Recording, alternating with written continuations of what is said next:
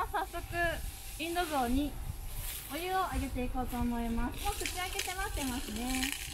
今水を飲んでいるのがラスクマルという名前のオス象です。で年齢は今29歳です。でラスクマルという言葉ちょっと聞き慣れないんですが王子様という意味です。で普通の象はえこうやって水を飲みません。動物園で長く暮らしていてこうやって口の中に直接お水を入れてもらえることちゃんと分かっています。で一度鼻の中にお水を溜めてから飲むよりもこうやって直接口の中に入れてもらえる方が楽ちんなんですね。なのでこうやって口を開けて水を飲んでいます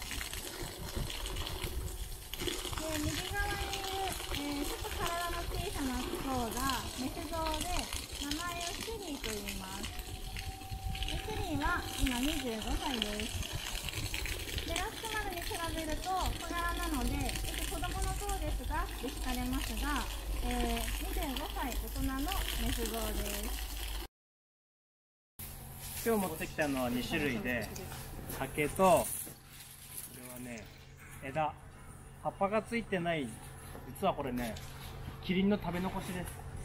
なんで食べ残しなんかあげるかというとじゃあまずはこの枝からあげていきます。はいどうぞ。マスクマル君。豪快に食べました。すごい音がします。象はこんな風にねあの葉っぱがついてなくても枝も全部食べちゃうのでまあ枝を捨てるのもったいないんでね象にあげてます。さあ隣にシュリーが来たのでシュリーにはねこの竹をあげていきます。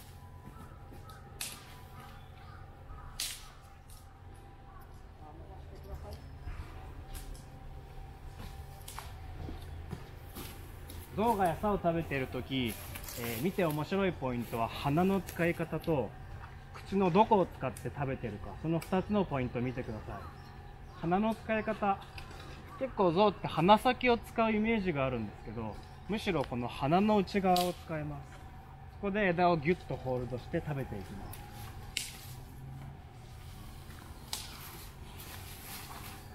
口元に注目すると、えー、まあ、当たり前ではあるんですけど歯がついてるところで噛みます象はですねこの枝口の一番奥の方に持ってってますつまりあそこにね大きな歯があってあそこで噛み砕いて食べてます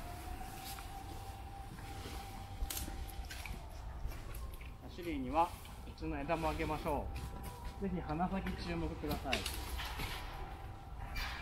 鼻伸ばして鼻の内側でギュッと持って落ちないように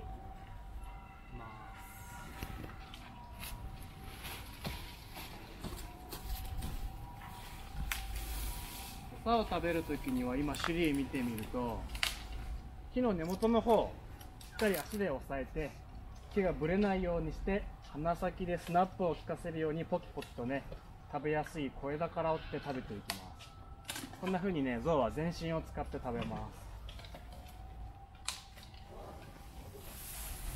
す。ラスクマル餌を食べてて面白いポイントもう一つあってぜひね耳の動きに注目ください。結構象って自分の感情が耳の動きに出ます。なんとなくですけど食べて美味しい時にね耳をパタパタって振ることがあるんですね。ラスクマル君に竹をあげます。はいどうぞ。さあギュッと持って。食べます。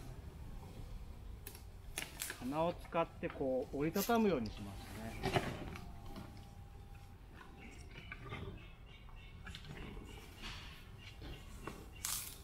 して食べていきますとても器用に鼻を使います。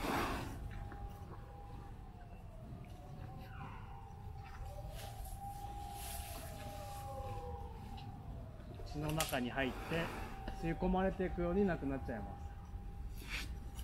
美味しいですかラスクマル君？とね噛みしめてると思います美味しいですか？よかったです。さあもう一個どうぞ。